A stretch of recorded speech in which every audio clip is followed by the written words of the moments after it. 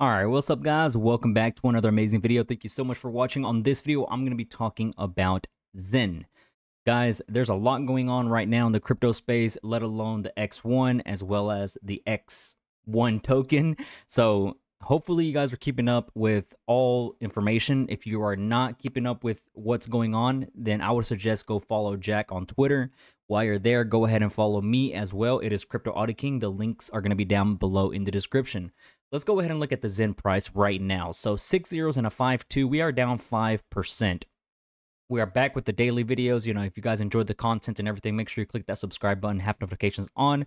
I'm going to continue making content almost every single day so you guys can enjoy and see what I think is happening around in the XEN cryptoverse. Right now, we did drop right under the support level of the 1334. As you guys can see, it's right here we are now under.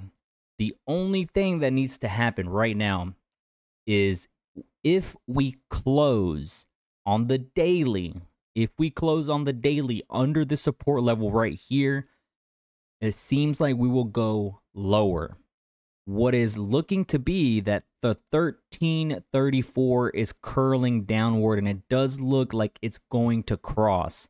Right here, it was pretty much almost guaranteed a cross, but the gas on Ethereum saved the day, and that's why we saw the big, big run up for that price of XEN. Right now, it's curling again, exactly how it was looking over here. Now, can the gas on ETH do the same thing and save the token price and project itself back up? Maybe. There's no telling, man. I really hope it happens again. But as of right now, we are under the 1334, which is bearish. We are right now not closed, but we are trading under the support level, give or take, like right at it, which is still bearish, and it's still looking like it's going to want to cross another bearish sign. So all around, it looks like the token price seems to like want to go down, but I think the XEN community in general, since you know it, it's just a strong community overall. I think the the community is like holding it strong and trying to lift itself up on its feet and making sure it doesn't crash back down you know but only we can only do so much man. We do need a lot of volume. We do need a lot of that utility case burning. We need that 333 man. We do need the auctions to come out. We need it desperately in my opinion. Um jack should have launched that instead of the token x1 in my own personal opinion. But hey he's the mastermind behind all this. I do think and i agree with some of you guys as well that see it that he's putting all this together. And at the end of the tunnel it's all correlated. It's all a puzzle piece that's going to be matching together all at once and it's going to benefit XEN at the end of the day. So we'll see what happens in the future, man. This is still a really good opportunity for those of you that want to get in at a cheap price. But look at this gap right here. It's going to suck if we do end up closing below this support level right here because we have this big gap right here. You know, a next one that looks to be, we can even include this one right here, actually. I did not even see that. This looks like a really good support level too. Uh, 4692 is looking to be where it could head to if this does not um, hold, or at least if it doesn't close above it. So if this does end up like confirming a bearish move and a drop is pretty much confirmed, then that's another level to be looking at around that 4692. I think that's what I said, right? somewhere around there is where um I think like the last resort of the token price for XEN. Because if this fails, we will pretty much guaranteed to be going back down and test the all-time low way down here. So we will be hovering around this area. So if you want to wait until then, if it happens, that's perfectly fine. That's totally up to you guys. Just keep in mind, put it we can afford to lose because at the end of the day, it is still a risk. I'm just putting out there what I see whenever it comes to technical analysis. I know a lot of you guys love this type of content whenever it comes to like price predictions, where would be the best outcome to buy, you know, the support levels, just to see what the overall prediction of XEN could potentially come into. And that's what I just think it's looking like, okay? But right now, it seems to be like one of those where it's like, eh, you know, we just got to wait for the confirmation just to see what happens. If you trade XEN on Mexi um, for a short position, which I most likely will do it. That you know, that's just something you could do as well. Some people do it on Mexi, so that way they can do like that um 100x or 50x leverage and stuff like that. So it's something for you guys to check out if you're curious about it. I made a video about it um a while back ago, so just check it out if you're into that kind of stuff. But I do want to mention um that X1 is going to be or already is in Kanga Exchange. Actually, let me check. X1 it's not there just yet. So it will it will eventually be there for you, those of you guys that want to buy it from an exchange. If you're curious about it, that's fine. I'll leave the Kanga Exchange website down below in the description. Uh, I also use this website, this exchange, to buy PLS. Super easy. The best way to do is just go on here and just buy your PLS. Um, that way you don't have to deal with the bridging on Ethereum, the gas fees, and just you know expensive gas fees. That way you can just send over your I don't know Litecoin, Tron, or whatever you want to send over to your uh, Kanga Exchange wallet and just sell it to USDT and just buy PLS, withdraw it to your wallet and instantly start minting um Centurions or whatever you're feeling like doing, right? So that's totally up to you. You know, I'll just I'll leave the link down below in the description. Um, just I'm just waiting for the X1 to come out. I'm curious to see like how it's going to do because we I don't know the max supply right now circulating is going to be 500 million, um, but it is a total of one billion, I think, if I remember correctly. Um, one or yeah, one or ten. I think it's one billion. Um, but that's you know something to look forward to. I think they're also going to be listed.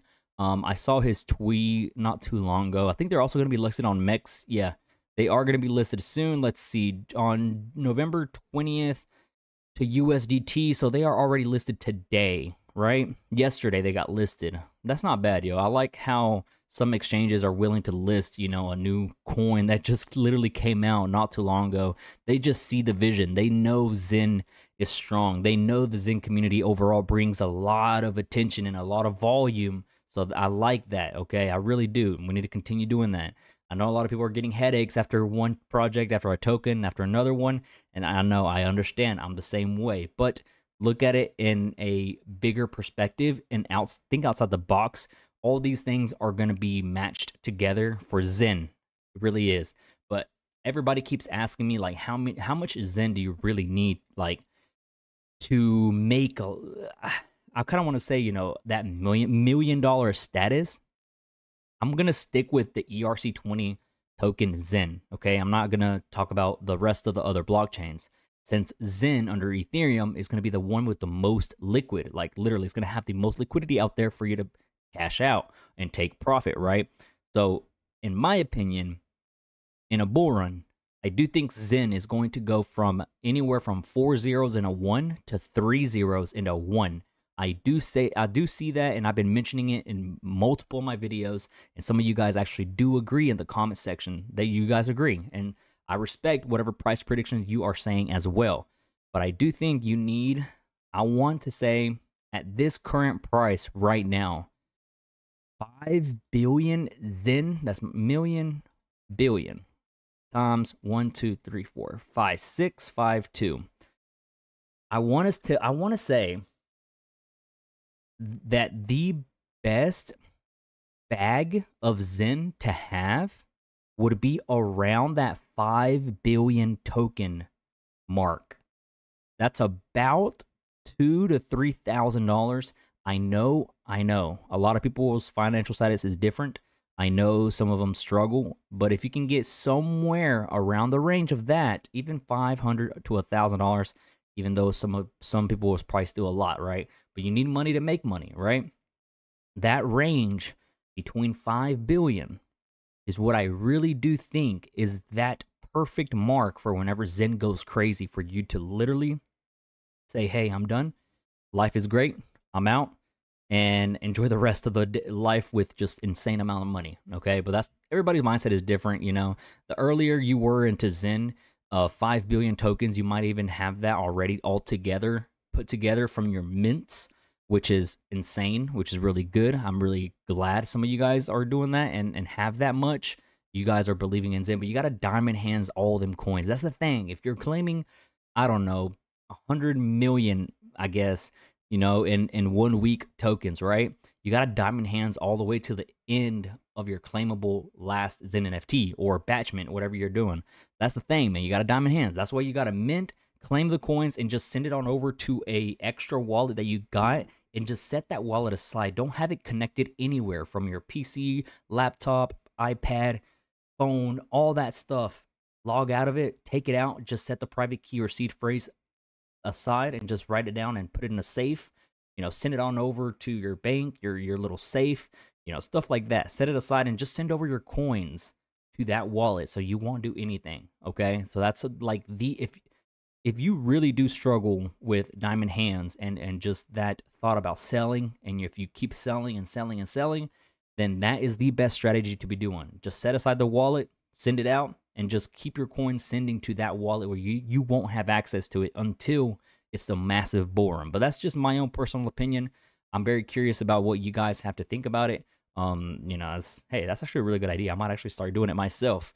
But last thing I want to say is, um, oops, let's see. So this is XEN Poodle. I'm not logged into the wallet right now, but this is uh, my project. I'll I have my own Telegram chat room.